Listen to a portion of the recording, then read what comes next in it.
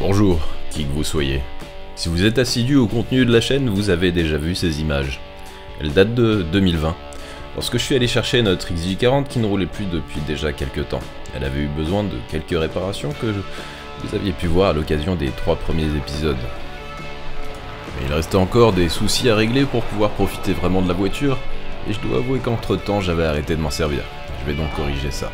La première urgence pour que cette Jaguar redevienne le palace roulant qu'elle devrait être, c'était de rendre le pont arrière silencieux. Après investigation, la plupart deviennent bruyants à cause des roulements de sortie sur lesquels les cardans viennent se fixer. Jusqu'à maintenant, il y avait un bruit permanent qui donnait l'impression que le différentiel était en fin de vie. Ça, plus les claquements de suspension à chaque bosse, toujours à l'arrière, qui finissaient de gâcher le plaisir de conduire. Heureusement, si j'ai vu juste, aucun de ces soucis ne devrait être trop compliqué à régler.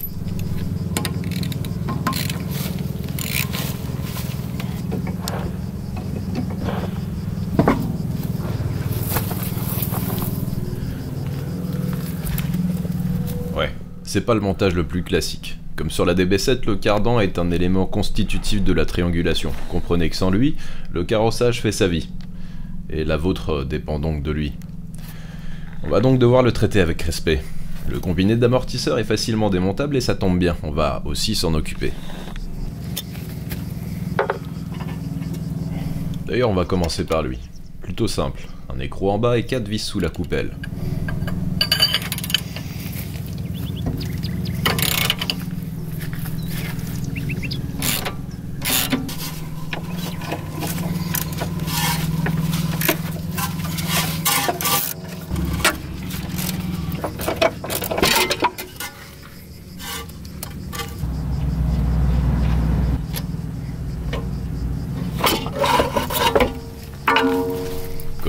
De lever les deux roues et qu'il faut faire tourner le cardan pour libérer les accès des écrous à dévisser ensuite, j'en chie un peu.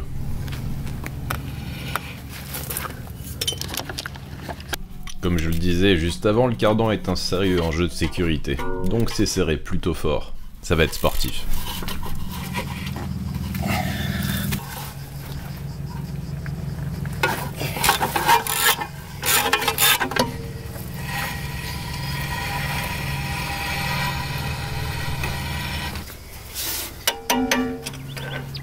Et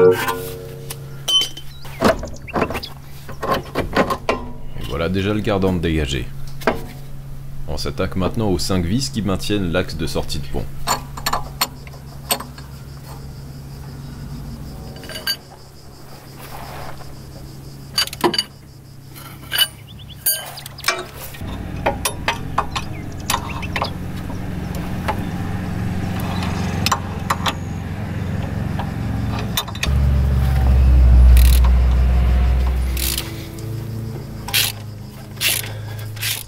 Quelques pas de vis en place pour éviter que l'axe sorte trop violemment. Je vais maintenant me servir du cardan comme d'un arrache-moyeu.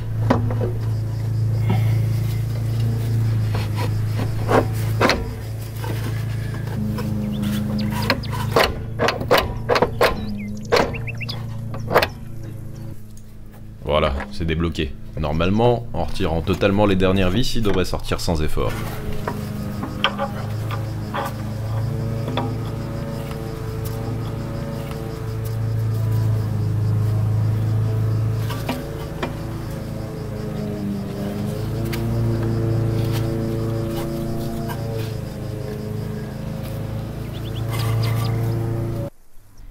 Que le garage du coin s'amuse à me remplacer le roulement grâce à sa presse, je vais m'occuper du claquement entendu à l'arrière. J'avais imaginé que ça puisse venir des coussins en mousse sur lesquels les coupelles viennent se reposer. On va pouvoir vérifier ça. Si vous ne l'avez jamais vu, je vous présente mon compresseur d'amortisseur. Et si vous utilisez les compresseurs à base de tige filetée, je salue votre bravoure. Après quelques occasions manquées de perdre la tête en les utilisant, j'ai préféré investir 80 euros dans ce truc il y a quelques années ça me semble être un peu moins risqué et surtout beaucoup plus facile.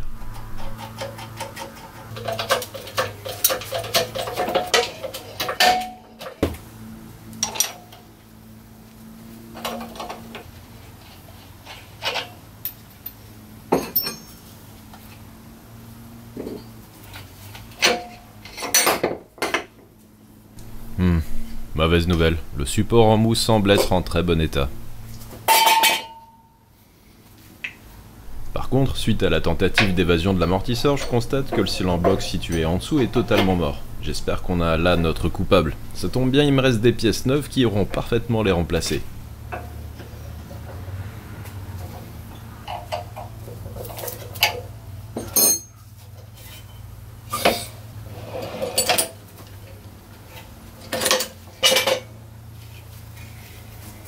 J'ai été récupérer l'axe avec son roulement neuf que je vais monter avec le joint torique avec le kit.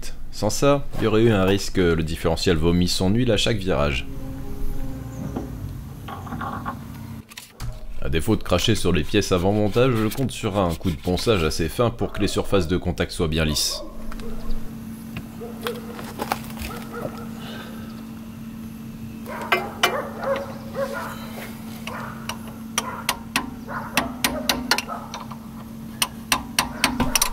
Qu'à poursuivre le remontage sans la voix off. Profitez bien de cette accalmie.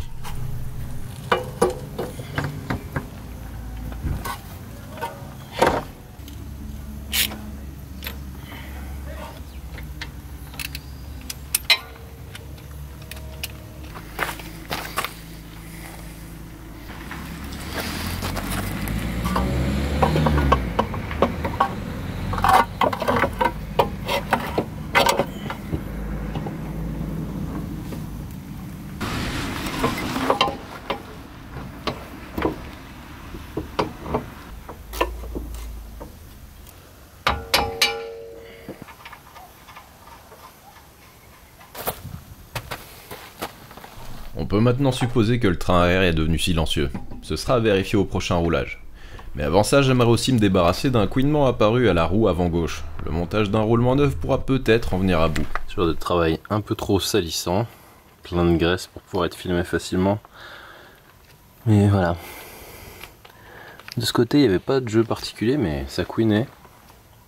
Et j'espère que ça ne couinera plus. J'ai mis les nouveaux, euh, nouvelles pistes de roulement au congélateur histoire qu'elle se rétracte un petit peu. J'espère que ça me permettra un montage euh, plus aisé. Bon, ça s'est pas mal passé finalement. Faudrait que je change les biellettes de direction à l'avant, celles que j'ai installées sont mal dimensionnées. Ce que le monsieur essaye d'expliquer avant que la GoPro lui coupe le sifflet, c'est que les biellettes neuves sont trop courtes et que le rayon de braquage est devenu vraiment débile au point de devoir prendre certains ronds-points en deux fois. Et si vous vous demandez pourquoi je n'ai pas remonté les biellettes d'origine, la réponse se trouve sur l'établi entre un étau cassé en deux et un ensemble biellettes rotules coupé à la meuleuse.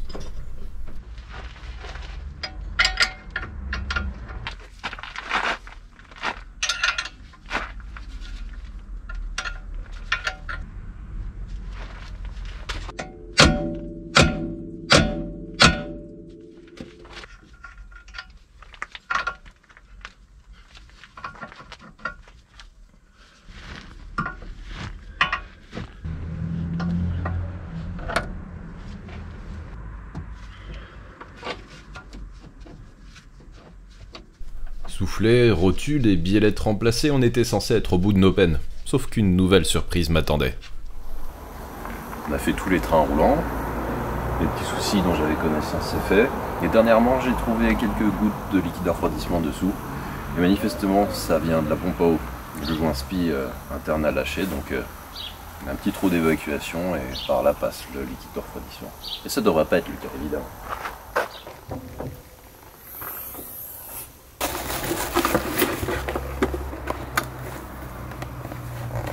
Ah, c'est bien ça.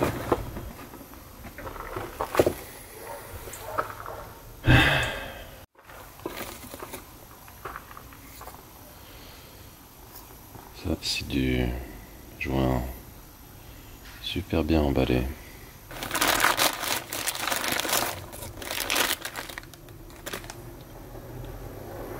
Pour remplacer la pompe, il y a 2-3 choses à déposer dans l'ordre. Le visco-coupleur de ventilation, le carter du radiateur, la courroie d'accessoires et bah, les vis de la pompe.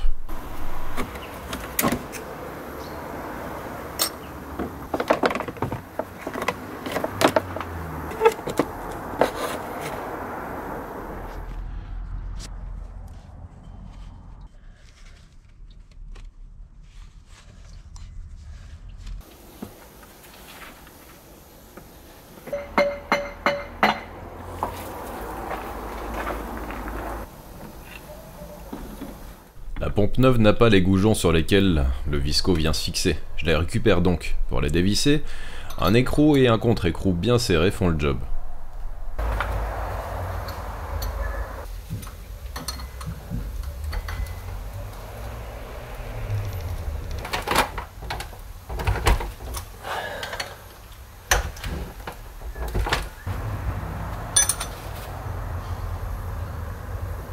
Finalement décidé de déposer le bloc haut recevant la pompe, puisque le tout est externe au bloc. Le but est de lui donner un bon coup de propre. Les emmanchements des durides sont un peu attaqués, et un bon surfaçage devrait aider pour la suite du remontage.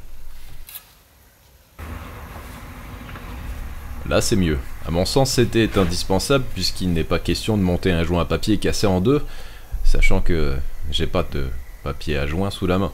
Je vais donc remonter la pompe comme elle était déjà installée, c'est-à-dire uniquement avec de la pâte à joint, d'où l'importance de bien préparer les surfaces d'étanchéité.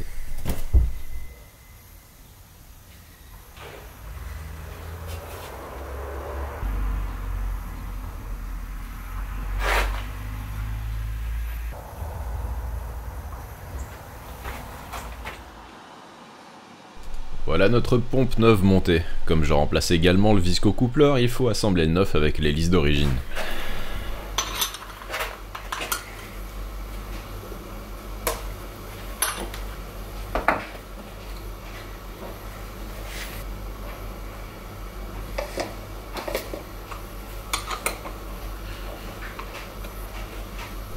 Et voilà, après un remplissage du circuit, on est théoriquement prêt à rouler. Mais je vais encore vous tenir la jambe avec 2-3 bricoles. Déjà, l'entrée d'eau du coffre qui avait fini par tremper tous les habillages. Apparemment un grand classique sur ce modèle. Pour une pièce malheureusement devenue introuvable, le caoutchouc d'étanchéité de la trappe de carburant.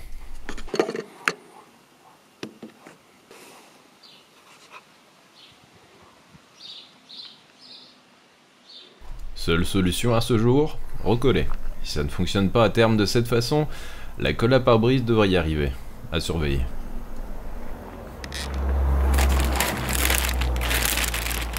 Après ça, j'ai remplacé le joint de porte passager dont j'avais précédemment recollé la partie inférieure. Mais c'était indigne d'une Jaguar, n'est-ce pas? Je me suis donc plutôt infligé une bonne demi-heure de remontage de ce joint qui doit s'insérer en force, demi-centimètre par demi-centimètre, dans une gorge en acier fixée à la voiture.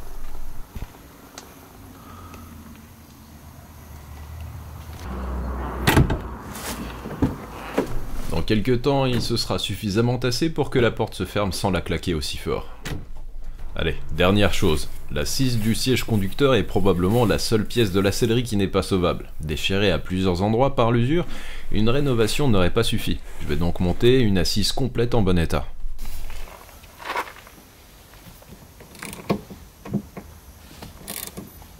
Si j'aurais anticipé une autre distribution du temps en premier lieu, c'est-à-dire 5 minutes pour monter le joint et une demi-heure pour remplacer l'assise, ce jour-là c'était n'importe quoi. Je me suis donc embêté à déposer le siège alors qu'en réalité il suffit de virer une vis pour pouvoir enlever l'assise. Je le saurai pour la prochaine fois. Bon, j'ai quand même dû ressouder la cause de l'ancienne assise qui devait être d'une génération antérieure.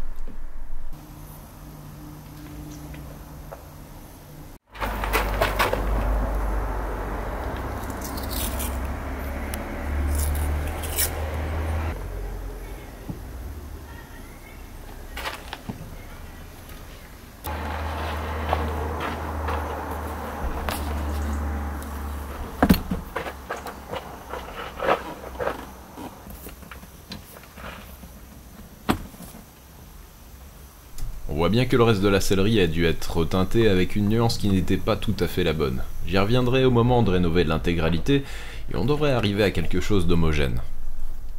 En fait, il y avait encore un truc que je pouvais pas laisser passer. La tâche de pare-soleil cassée côté passager. On la trouve en neuf, je me suis donc empressé de pouvoir la faire imprimer en 3D, parce que j'aime me faire chier au lieu de payer une pièce neuve livrée dans un sachet. Donc après avoir pris les côtes, je l'ai modélisé et Philippe, que je remercie, m'en a sorti une version en résine. Et ça fonctionne.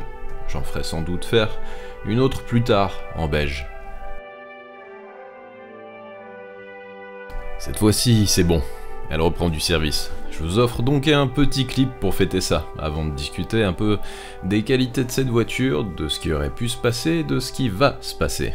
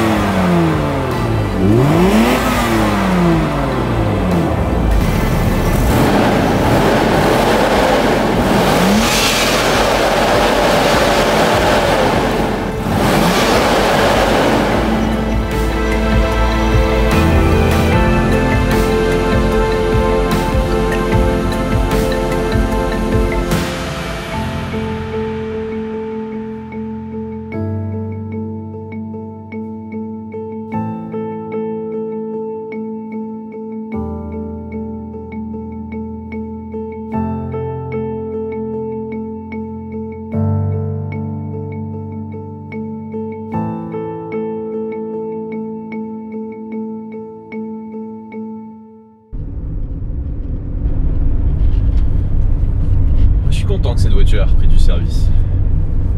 Ça faisait un bout de temps que ça me manquait de, la prendre. C'est vraiment bizarre à expliquer, mais euh, de toutes les voitures que j'ai et que j'ai eues, c'est l'une de mes préférées. Pourtant, sur le papier, euh, on peut pas dire qu'elle ait euh, de grands arguments pour elle. hein. C'est ouais. Déjà, on est tellement bien dedans. Ça peut paraître quelconque de dire ça au sujet d'une vieille Jaguar, mais il y a quelque chose de, spécial là-dedans. La position de conduite euh, unique. Et pour le coup, on voit le fossé qu'il y a entre une XJ40 et euh, une S-Type par exemple. C'est aussi surprenant et, je m'a- m'attendais pas à penser ça au final, mais, mais je crois que je préfère conduire celle-ci que la S-Type R. Et quand on a envie de hausser un peu le rythme, ça fonctionne quand même. Et là, on l'attendait quand même pas sur ce terrain, je pense. Une XJ40, euh, je pense que tout le monde perçoit ça comme euh, tout mou, bien à l'ancienne. Et en fait, non, c'est pas un châssis du tout euh, feignant, au contraire. Euh, et là, on reconnaît bien le choix des, des trains roulants. En fait, c'est cette voiture-là, et c'est le cas aussi de la DB7, c'est des héritières de la type E, qui était quand même euh, bien pourvue quand même en la matière. Et je pense qu'on a arrêté d'utiliser ce, type de, de triangulation parce que ça pesait très lourd, notamment sur le train arrière. Et ça devait coûter assez cher à produire. Mais euh, reste que quand ça fonctionne bien, que c'est en bon état, euh, c'est super agréable. Maintenant que je suis arrivé au bout des travaux des trains roulants et de la mécanique en règle générale, je pense que je vais surtout en profiter tel quel. Et quand les beaux jours sont revenus, euh, je rattaquerai sur la partie carrosserie parce qu'il y a quand même pas mal de boulot là. Avec toute cette corrosion. Je sais pas si j'en avais parlé à un moment, je crois, je crois pas, hein, mais quand je m'étais retrouvé avec euh, deux moteurs euh, de DB7 démontés, ça m'avait sacrément démangé de- d'envisager d'en- d'installer un dans la XJ. Ça serait vraiment la version ultime, un 6 litres Aston sous le capot d'une XJ40.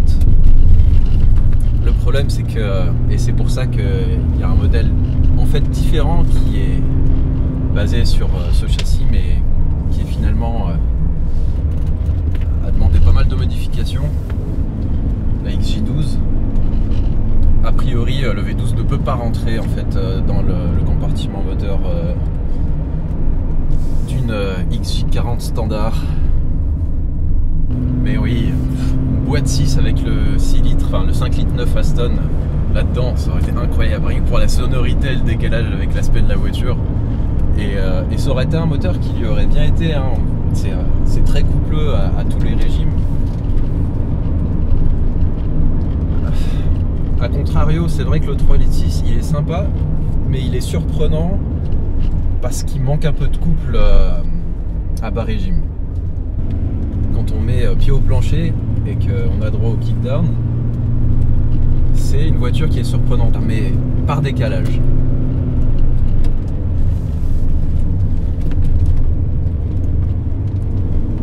La conso est un petit peu forte, je trouve. Ça, fait, ça en fait rire certains, euh, mais simplement s'il n'y a pas encore quelque chose qui, pourrait être arrangé à ce niveau.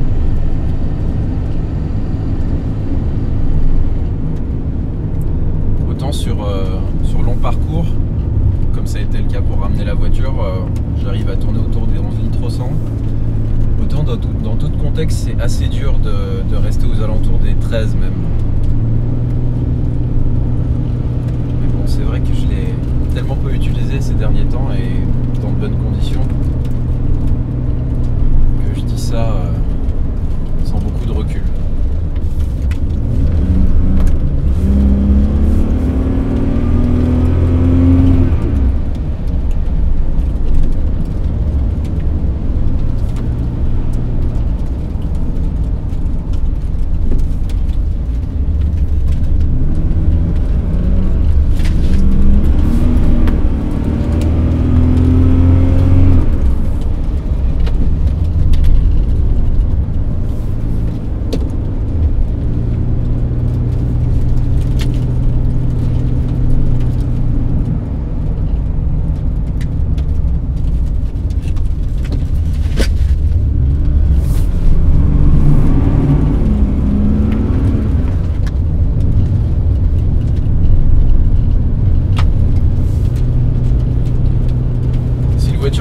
sûr. Mais sur le mouillé, pour tester, c'est vraiment une machine à glisse. Mais très agréable. Le seul point un peu problématique, c'est que euh, euh, l'amplitude de braquage n'est pas énorme. Du coup, euh, quand on arrive à l'angle sympa, en fait, on n'est pas loin de, la butée de braquage. Et là, il vaut mieux faire un petit peu attention. Pour pas risquer de tête à cœur.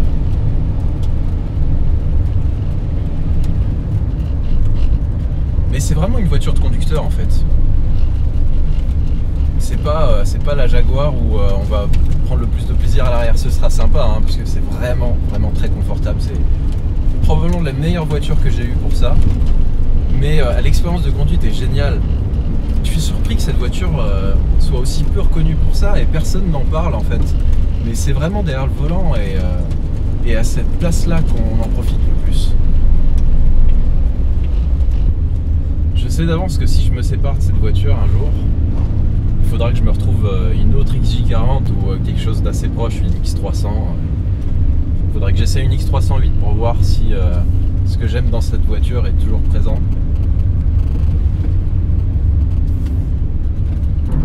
Allez, je vous laisse un peu profiter de cette séquence qui, j'espère, arrive à traduire un peu de l'agrément de conduite d'une XJ40 et de sa capacité à dompter les virages et les ralentisseurs. Et ce silence de roulage enfin retrouvé.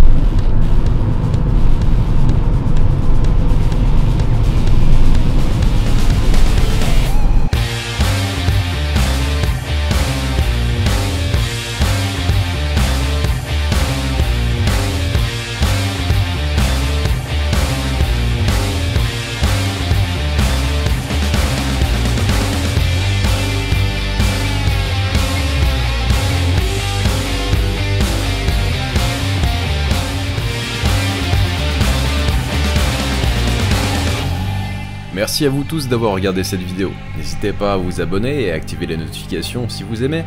Et je vous dis à la prochaine avec un autre véhicule en mal de soins. Ciao